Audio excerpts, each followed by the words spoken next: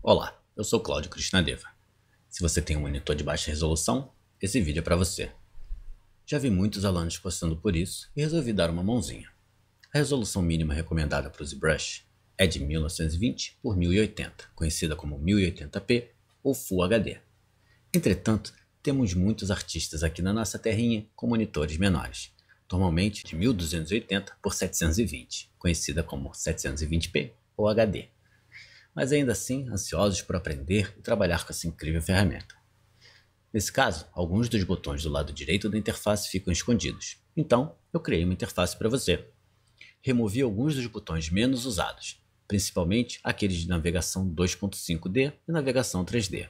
O primeiro grupo é usado muito raramente, e o segundo, a navegação 3D, fazemos de forma interativa, tornando-os também um tanto irrelevantes. É a única coisa de diferente da interface padrão do ZBrush.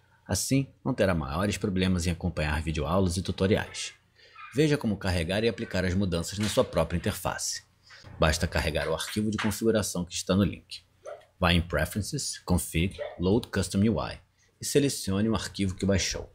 O nome dele é 720p ZBrush UI.cfg, um arquivo de configuração do ZBrush. Agora, vamos diminuir um pouco os botões de forma global já que alguns ícones na esquerda da interface também ficam escondidos, mas são usados com uma certa frequência. Vá em Preferences, Interface, UI e arraste o controle deslizante Buttons Size para 40. Aparecerá uma caixa de alerta avisando que a interface será ajustada na próxima vez que iniciar o ZBrush. Agora vamos em Preferences, Config, Store Config. É só reiniciar o ZBrush e voilá! Ah, na descrição tem o link para baixar a interface e algumas imagens explicativas. É de grátis, mas se tiver se sentindo generoso, pode deixar uma colaboração para o meu projeto de vídeo curso. Espero que ajude. Obrigado por assistir e até a próxima.